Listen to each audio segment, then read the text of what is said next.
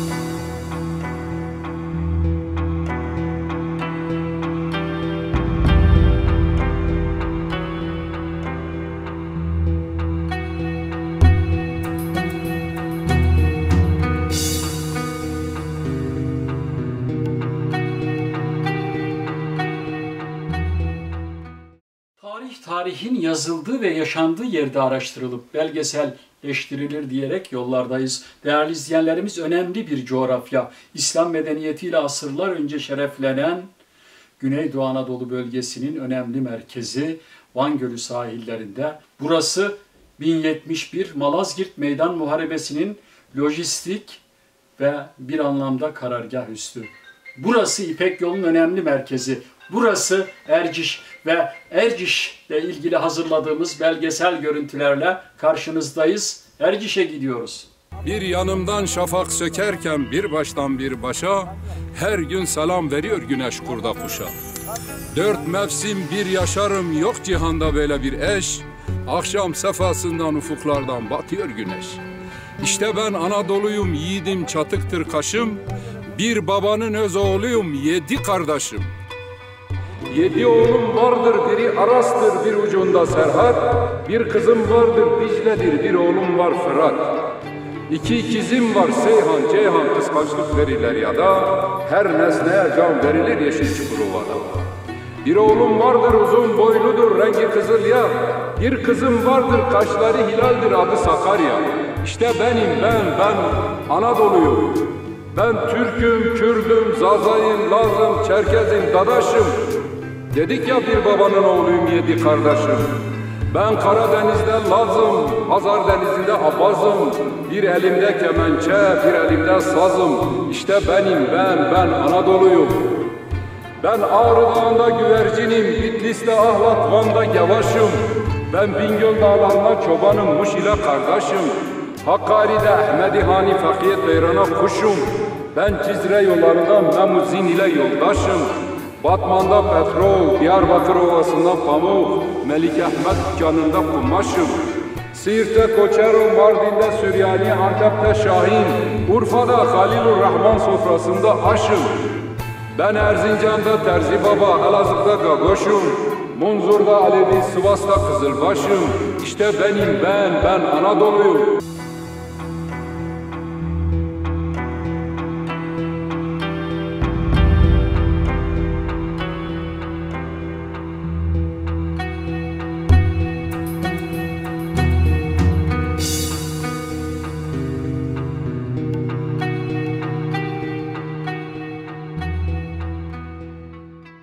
Tarih boyunca pek çok medeniyete ev sahipliği yapmış Erciş'te.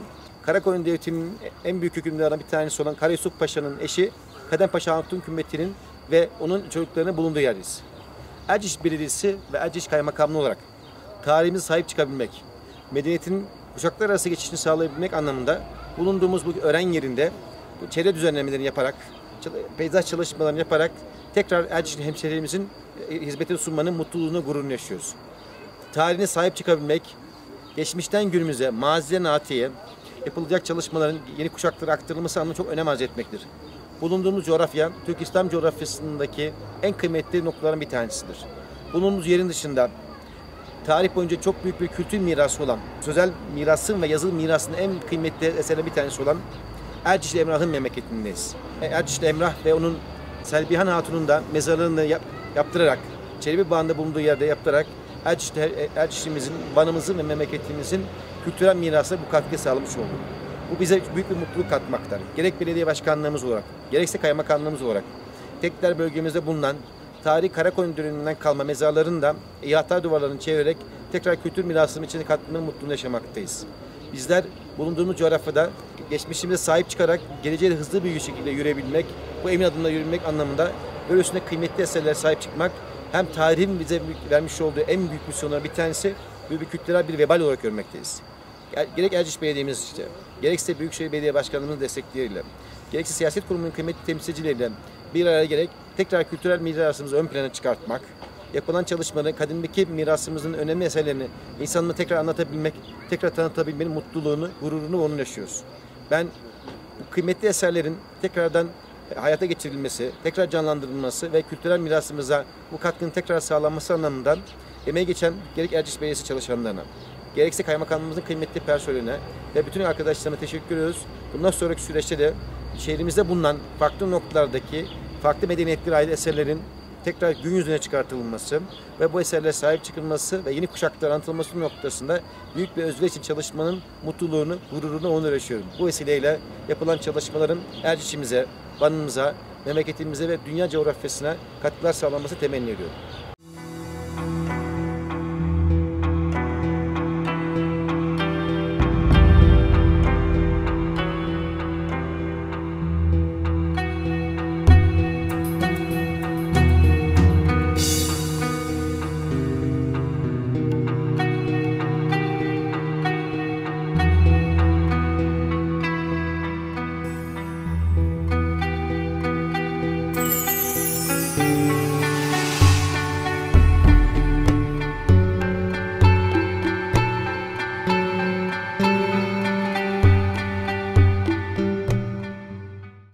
Burası Erciş, burası Van Gölü kenarında tarih, kültür, medeniyet merkezi ve en önemlisi de Karakoyunlar Devleti'ne uzun yıllar başkentlik yapmış Erciş'teyiz. Van Gölü kenarındayız. Kültür ve medeniyet tarihimizin devralem program olarak izlerini araştırıp tarihe not düşüp zamana noterlik yapıyoruz. Van Gölü sahillerindeyiz.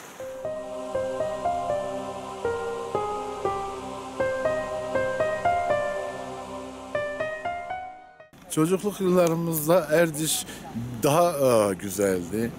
Yani e, tabii bu kadar gelişmemişti. E, çocuk mahallemizdeki samimiyet, samimi ilişkiler, komşuluk ilişkileri çok daha güzeldi.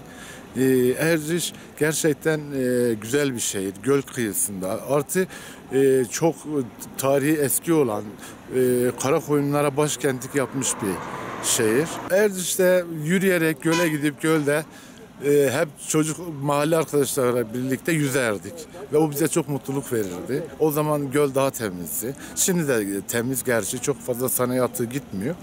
Ama o zamanlar biraz daha farklıydı. Van Gölü çok güzel. Hatta biz göl değil deniz diyoruz. E, herkesi gerçekten buraya görmeye e, davet ediyoruz. Burayı görsünler.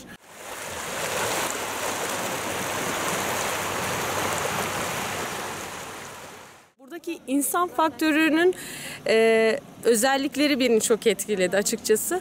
Buradaki insanların e, bizi e, evimizde hissettirmek için ellerinden geleni yaptıklarını gördük açıkçası. E, çok iyi bir misafirperverlik gösterdiler. Herkes bizimle sohbet etmeye çalıştı. Gerçekten etkilenmemek imkansız. E, buradaki şenliklerle ilgili de e, olağanüstü bir e, çaba, olağanüstü bir emek. E, katkısı olan herkese çok teşekkür ederim.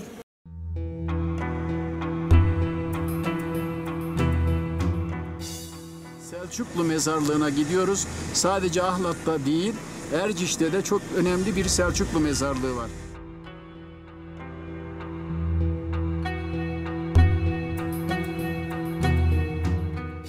Tarih, tarihin yaşandığı yerde araştırılır. Burası Erciş. İslam medeniyetiyle 641 yılında şereflenmişti. 1071'den önce buralara Selçuklular gelmiş, medeniyet getirmişlerdi. Karakoyunlara başkentlik yapmıştı burası Erciş ve önemli bir yerdeyiz şu an. Van Gölü'nün hemen yanı başında ve büyük bir Selçuklu mezarlığı var. Şu anda bulunduğumuz yer eski Erdiş'in tarihi mezarlığı. Burada binlerce mezar Selçuklulara ait Karakoyunlara ait Şahideli ve Sandukalı mezarlar vardı. Maalesef mezar taşlarının bir kısmı kırıldı, bir kısmı yok edildi ve bugün işte gördüğünüz gibi bir sürü mezarın olduğu yerde kaçak kazılar da var. Maalesef biz tarihimize gerçekten sahip çıkamadık. Burası sizin de belirttiğiniz gibi ilk Selçuklu seferleri 1018 yılında Çağrı Bey tarafından bu yörelere yapılıyor. 1054 yılında da Sultan Tuğrul Bey tarafından Erciş'e ele geçiriliyor.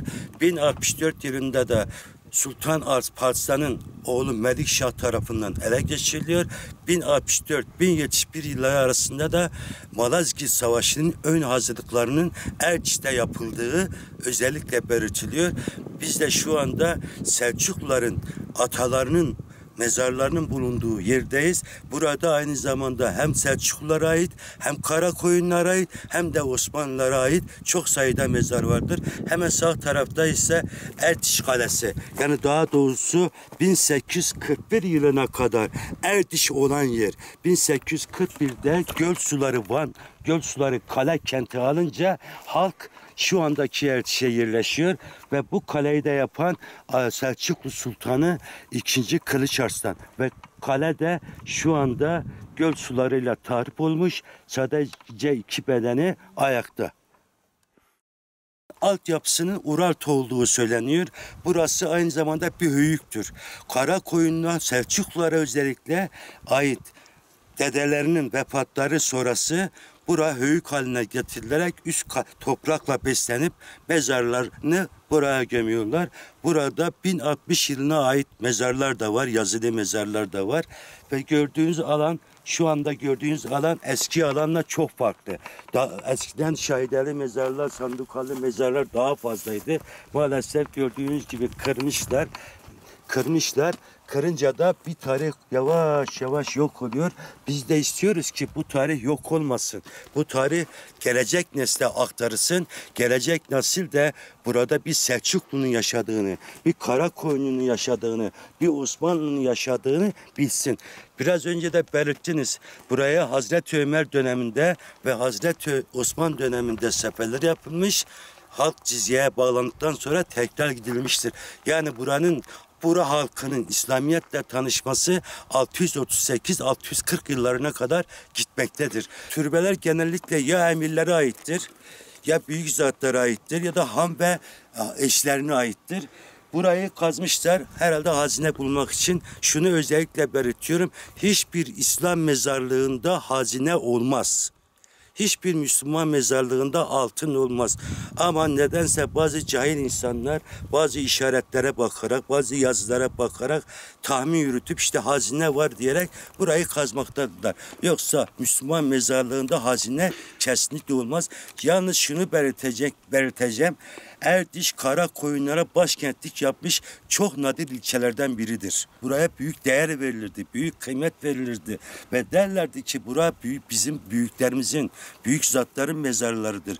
Buralara dokunmaz. Her cuma gelir dua ederlerdi.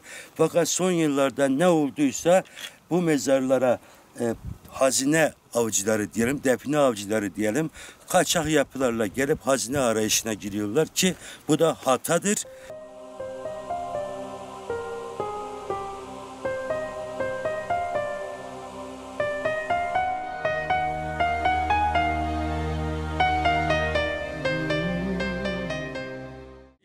Ecdadın defineciler tarafından o güzelim kümbet yıkılarak sökülen, dağıtılan mezarlığı ve mezarlar manevi tapu senedimiz mezarlar. Kültür ve medeniyet tarihimizin geçmişi mezarlar, mezarlıklar. Atalarımızın, dedelerimizin mezarları. Onların ruhuna Fatiha okumamız gerekiyor. Aziz ecdadımızın mezarlarını maalesef o defineciler kazıyıp yok ediyorlar. Bunlar Osmanlı'nın, Selçuklu'nun, Karakoyun'un tapularıdır. Evet. Biz bu tapuları yok edersek diğerlerin hiçbir anlamı kalmaz. Efendim buradan öncelikle burada metfun aziz ecdadın ve bizi biz yapan değerlerin, şehitlerimizin ve medeniyet coğrafyamızda, gönül coğrafyamızdaki tüm ehli imanın ruhu için, Allah rızası için El Fatiha. Söze hacet yok, o görüntülerle, çektiğimiz belgesel görüntülerle sizleri Van Gölü kenarındaki ilk Selçuklu mezarlığından o acı manzaralarla baş başa bırakıyoruz. Yetkilileri de göreve davet ediyoruz.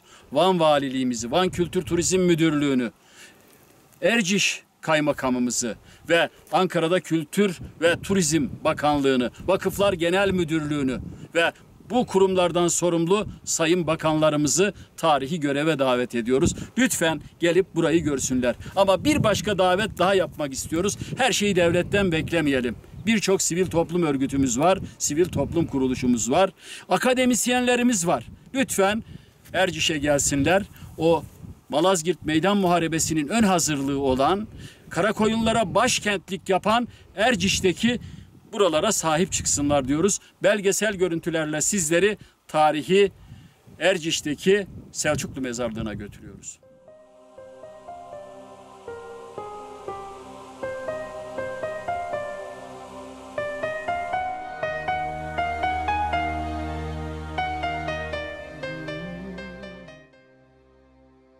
Yeni definler de yapıldığını görüyoruz maalesef. Bu da büyük bir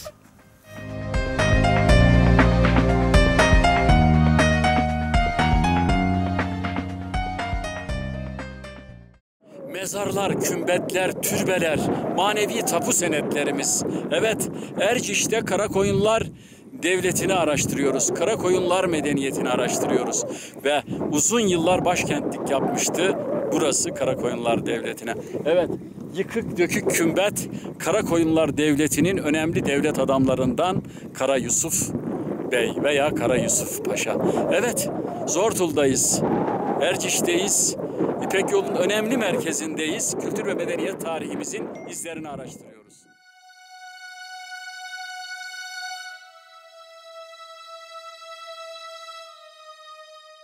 Kümbet 23 Ekim 2011 depreminden bu tarafa yıkılmış durumda. Kümbet üzerinden çift kartal, çift kartalın çift aslan, aslanlar ucunda ejderha fotoğraf resimleri ve alt kısmında da boydan boya Ayatin kürsü vardı. Kümbet iki kısımdan meydana gelmiş, gelmektedir. Birisi mumyalı kısmı yani cenazenin olduğu yer, diğeri de dua edilen yer. Şu anda üst kat tarafı ve arka tarafı komple yıkılmış. Acı olan tarafı e, kara koyunlara başkentlik yapmış Erciş'te kara koyunların en güçlü hükümdarının mezarının, türbesinin, kümbetinin bu hale gelmiş olması.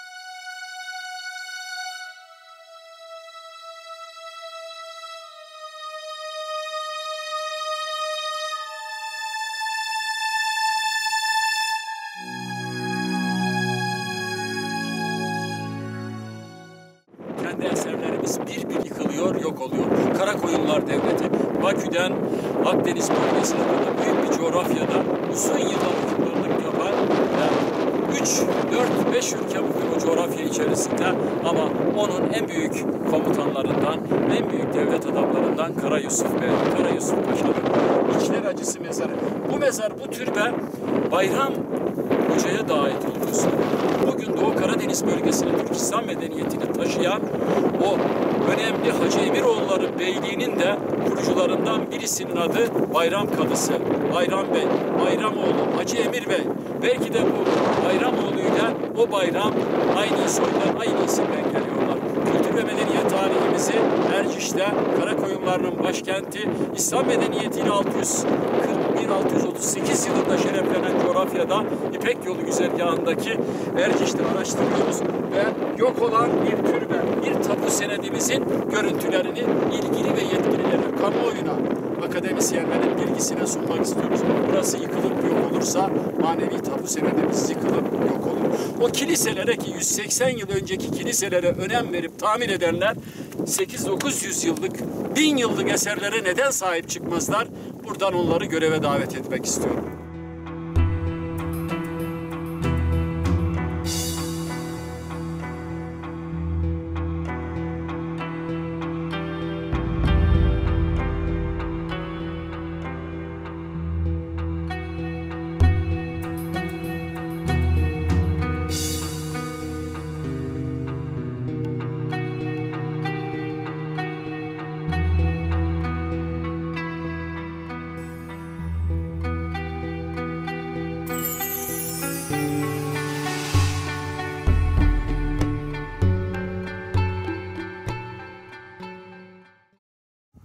Birçok ülkeye hakim olduğunu ispat eden o çift başlı aslan üstte kartal ama maalesef kırılmış, kırmışlar daha doğrusu.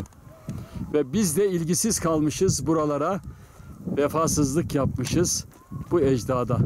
Vefasız olan bizleri vefaya davet ediyorum başta kendim olmak üzere.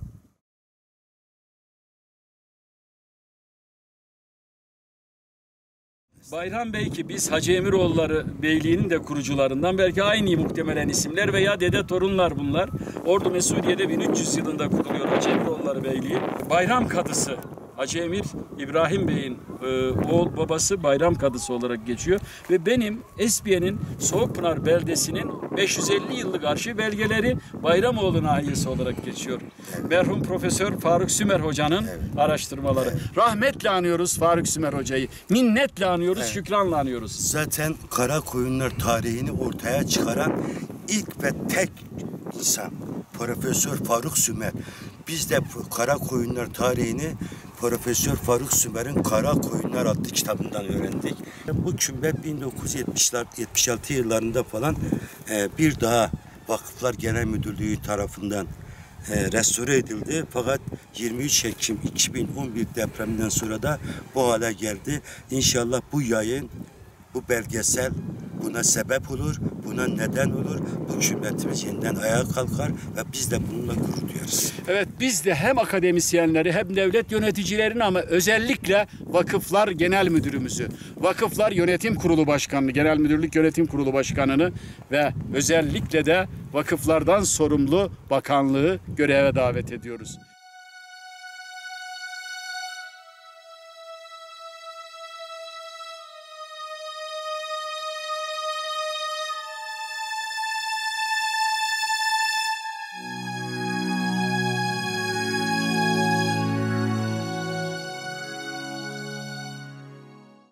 Kadem Paşa Hatun kara koyunu hükümdarlarından daha doğrusu kara koyunların en güçlü hükümdarlarından Kara Yusuf Şah'ın eşidir. Burada yatan da bu türbe de hem Kadem Paşa Hatun hem de oğulları Yaralı Şah Sevik ve Şah Mustafa adına yapılmıştır. Yapan da Rüstem Bey'dir. Cihan Şah döneminde yapılmıştır. Kendisi aynı zamanda Cihan Şah'ın da annesidir. Kitabesinde Cihan Şah'ın annesi olarak gösterilir ama aslında Kara Yusuf'un eşi Cihan Şah'ın da annesidir. Biliyorsunuz Kara Koyunların başkenti de Erçiş'tir. E, Türkistan'dan İran'a, İran'dan da 30 bin çadırla bu bölgeye gelmiş, yerleşmiş ve ilk beyliği de Erçiş'te kuran e, bir Bir devlettir. kısaca özetler misiniz? Kimdir Karakoyunlular? Kara koyunlar 14. yüzyılda Türkistan'dan İran'a, İran'dan da Doğu Anadolu'ya 30 bin çadırla gelen Türkmen aşiretidir. Bu Türkmen aşireti daha sonra beylik haline geliyor. İlk beyliklerden birisi Bayram Hoca'dır. Bayram Hoca'dan sonra Kara Mehmet, Kara Mehmet'ten sonra Kara Yusuf, Kara Yusuf'tan sonra Kara Cihanşah ve öyle gider. Beyliğin kurucusu Bayram Hoca er, Karakoyun devletinin ilk temelini de Erçiş'te atmıştır. Ve ata ve dedelerinin yurdu da hep Erçiş olmuştur. Kara Yusuf Tebriz'de, Tebriz'in yakınlarında vefat ettiği zaman cenazesi Ahtacı ve Sekbanları tarafından Erçiş'e getirilerek ata ve dedesinin yanına gömülmüştür. Kendisine çok güzel ve mükemmel de bir zaviye yapılmıştır. İşte bu gördüğünüz türbe de onun eşi Kadem Paşa Hatun kümbetidir ki Kadem Paşa Hatun tarihten öğrendiğimize göre Kara Yusuf kadar yiğit, cesur bir kadındır ve o öldüğü zaman da yani sanki kara üstü kara koyunların bir dalı bir kanadı kırılmış gibi olmuştur. Bu kümbeti de Cihan Şah oğlun döneminde e, Rüstem Bey yapmış ve bugüne kadar da gelmiştir. Maalesef 23 Ekim 2011 depreminde bu kümbet de diğer kümbet gibi zarar görmüş, yıkılmamış ama çatlamıştır. Belki ileride ufak bir sarsıntıda bu kümbet de ortadan kalkacaktır. Biraz önce de söyledim bu kümbetin çok önemli bir özelliği var. Türkiye sınırları içinde kara koyunlara ait kitabesi olan tek eser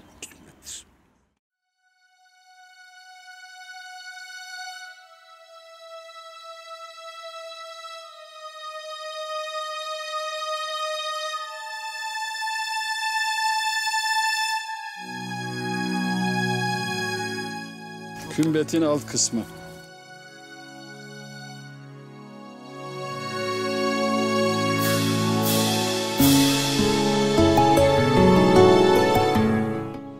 Bir ecdat mezarının perişan hali.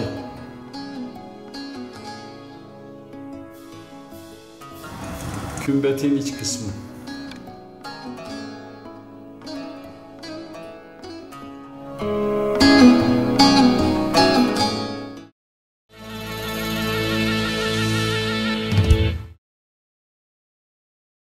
Mezarlıklardaki tarihi canlılık şahitlik yapan o ağaçlar. Bir kara ağaç. En az 8-900 Var. yıllık ağaç. Bu mezarın sahabelerden İbni Aff'a ait olduğu söyleniyor. Bu kitabesine bakılarak. Hatta bazıları bu değil de odur diyor. Çünkü o da çok uzun bir mezar. Bir arada buna da Abdurrahman Gazi dediler ama ne kadar doğru ne kadar yanlış. Yalnız bunun İbni Af olduğunu e, tarihçiler ve okuyanlar, eski yazıyı okuyanlar ifade ediyor. Bura ne olursa olsun burası kutsal bir mezarlıktır. Bakın ağaçları göreceksiniz. Hiç kimse dokun. Asırlık ağaçlıklar var burada. Yüzyıllık ağaçlar var burada. İşte görüyorsunuz. Hiçbirisi de dokunulmamış.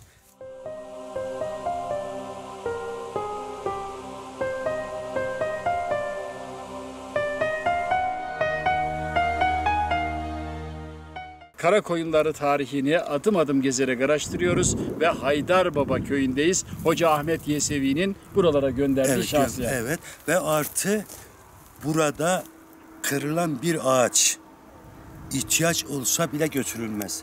Buraya buraya kutsallık verildiği için, kutsal bir değer görüldüğü için. Ve gördük burada. Evet. Ama hemen söyleyelim Doğu Karadeniz neresi? Doğu Anadolu neresi? Halen Doğu Karadeniz bölgesinde bizim köylerde yakına kadar o mezarlıktaki ağaçlara dokunulmuyordu. Hatta her mezarlıkta tarihi bir ağaç vardı. Dalından kırarsanız ocağınız söner deniyordu. Aynen. Ve maalesef son dönemlerde o asırlık ağaçlar yıkılıp gitti hocam. Evet. Evet araştırmamız tüm hızıyla devam ediyor.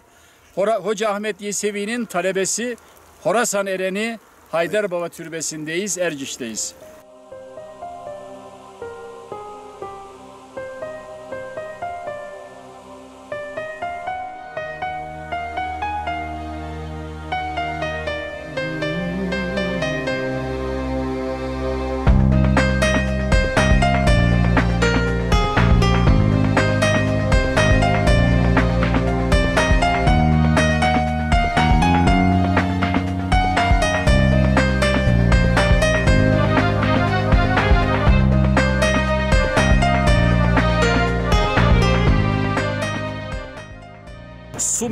Medeniyettir, kültürtür, tarihtir, hayattır, abı hayattır su. Türkiye su cennetidir. Birçok gölümüz var. Van Gölü. Van Gölü'ne dökülen çok sayıda çaydan birisi. Deli Çay üzerindeyiz.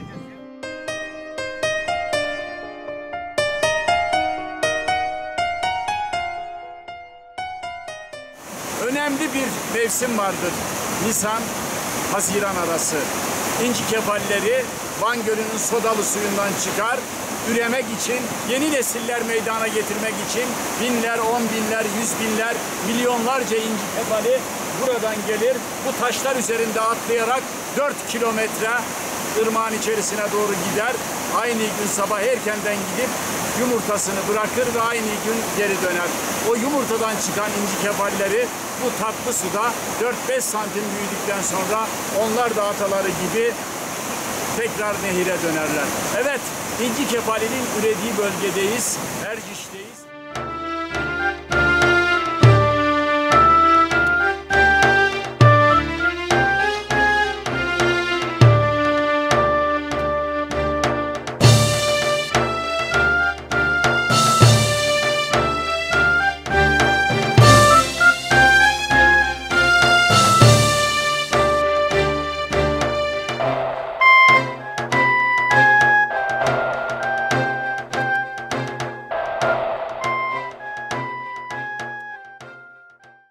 Narmanın yolları düz mü meyli mi? Yatıyorsun mani yüz mü elli mi? Bakın mezarlığa kabri belli mi? Fatiha okuyup selam söyleyin. Narmandan çıkınca dikilin semaya, ezan sesleriyle girin cumaya. Bardız'dan geçerken Nihan Baba'ya, onu sevenlere selam söyleyin. Çıldırdadır şenlik uğrayın bari, haber edin Kars'a ozanlar şehri. Posof'ta mudami koca efkari, umani saraca selam söyleyin.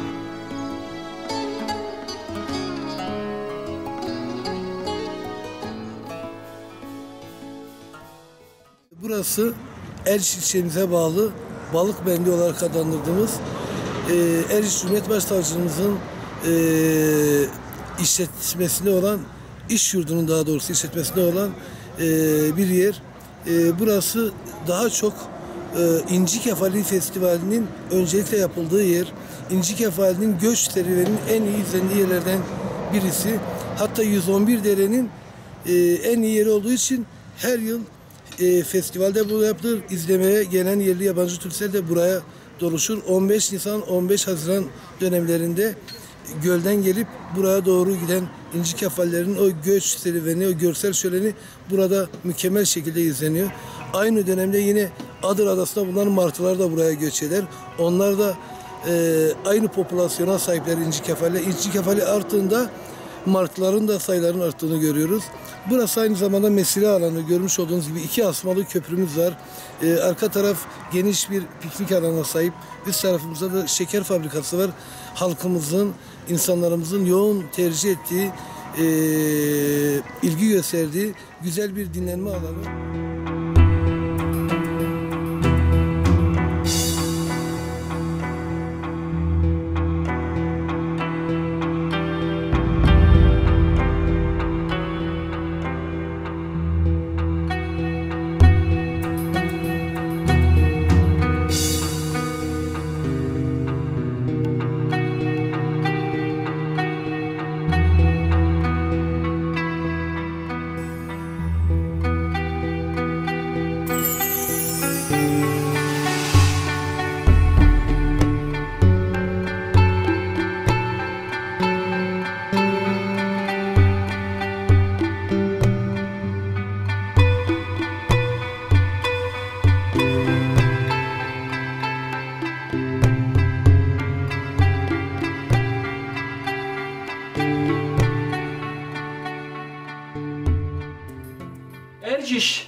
Önemli bir tarihi olaya da sahne olur ve Kültür Turizm Bakan Yardımcısı Profesör Doktor Haluk Dursun'un elin bir trafik kazasıyla hayata veda ettiği yerdir de Erciş. Ve Erciş'te Haluk Hoca'nın vefat ettiği yerdeyiz. Burası harekete başlayan bir hayatın son noktası.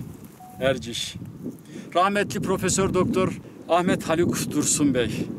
Harekeden çıktım yola diye yazdığı en son kitabıydı onun o kitap. Ve çok büyük hizmetler yaptı. Talebeler yetiştirdi. Devlet görevli yaptı. En son görevi de Kültür ve Turizm Bakan Yardımcısıydı.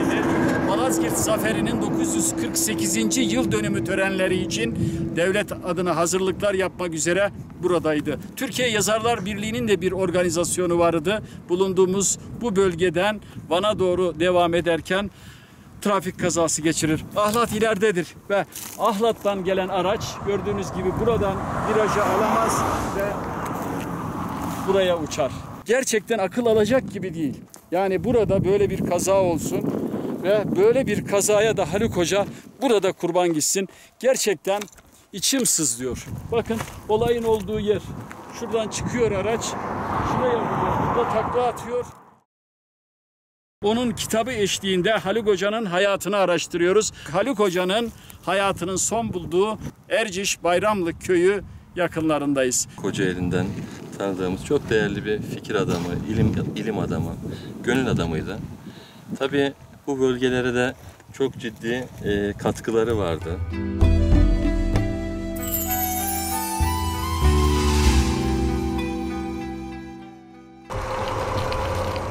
Kültür ve Turizm Bakan Yardımcısı Profesör Doktor Haluk Dursun, Ahlat'tan Van'a giderken geçirdiği trafik kazasında hayatını kaybetti. Akademik başarılarla geçen ömrü yine bilimsel çalışmalar için yaptığı bir ziyaretten ayrılırken sona erdi. Kazada Bakan Yardımcısı Ahmet Haluk Dursun'un hayatını kaybettiği 3 kişi de yaralandı.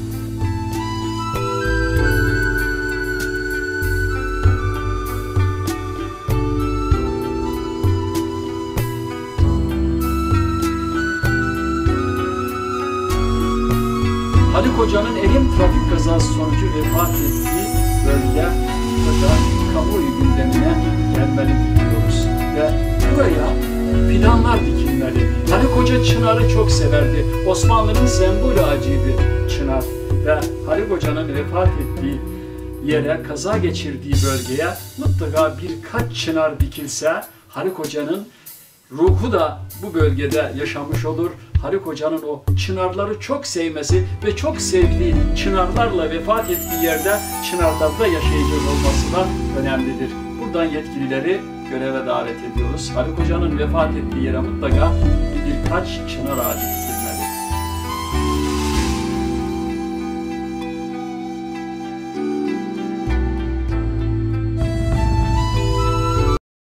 hayatlar vardır. Çok kısa zaman dilimi içerisinde çok şeyler yapar. O isimlerden birisi de Kültür ve Turizm Bakan Yardımcımız merhum Profesör Doktor Ahmet Haluk Dursun Bey. Ona vefa borcumu ödemek için çok şey öğrenmiştim ondan. Onun hayat serüvenini Hereke'den çıktım yola kitabını alarak takip etmeye başladım ve kaza geçirdiği Erciş yakınlarındaki bölgeye geldim. Ama bulunduğumuz yer çok önemli Haluk Hoca'nın hayatında. Zira burada bulunduğumuz bu yerde son açıklamalarını yapmıştı Haluk Hoca. Rahmetle, minnetle, şükranla arıyoruz kendisini.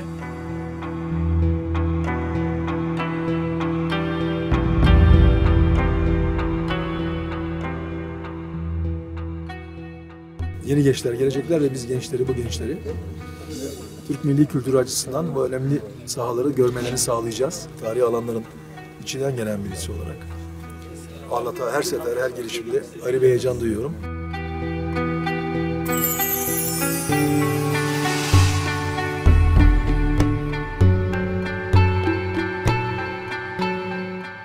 Değerli izleyenlerimiz bir Devralem programımızın daha sonuna gelmiş bulunmaktayız. Ve Erciş, Van Gölü sahili, Kubbetül İslam Ahlat ve Anadolu'ya kapıların açıldığı yer Malazgirt. Evet, sizleri Erciş'ten programımıza son noktayı koyarken Malazgirt Meydan Muharebesi ile ilgili hazırladığımız kısa bir belgesel görüntülerle Malazgirt'e gidiyoruz. Yıl 1071. Ağustos'un 26'sı. Günlerden cuma. Malazgirt Ovası binlerce Türk askeri için kutsal bir topraktır artık. Onlara ebedi yurtlarının kapısını açacak sultanın arkasında saf tutup namaz kılmış, zafer için Allah'a dua etmişlerdir. Sultansa o an derin düşüncelere dalmış, namazdan sonra ettiği dua da aklına gelmiştir. Ya Rabbi, seni kendime vekil yapıyor. Azametin karşısında yüzümü yere sürüyor ve senin uğrunda savaşıyorum. Ey Allah'ım, niyetim halistir bana yardım et. Sözlerimde hilaf varsa beni kahret. Sultan Alparslan kılıcını kınından çıkarıp havaya kaldırır. Gür sesiyle tarihe geçecek o ünlü konuşmasını yapar.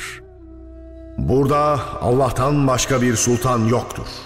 Emir ve kader onun elindedir. Bu sebeple benimle birlikte savaşmakta veya savaşmamak için uzaklaşmakta serbestsiniz. Selçuklu Devleti'nin sadık ve cesur askerleri sultanlarına olan sonsuz sadakatlerini hep bir ağızdan haykırırlar. Sultan Alparslan Allah için savaşa başlamadan önce sözlerine şöyle devam eder. Ey askerlerim! Eğer şehit olursam bu beyaz elbise benim kefenim olsun. Zaferi kazanırsak önümüzde çok hayırlı günler olacaktır. Ve sultan korkusuzca atını ileriye, düşmanın kalbine doğru sürer. Zafer Sultan Alparslan ve Selçuklularındır.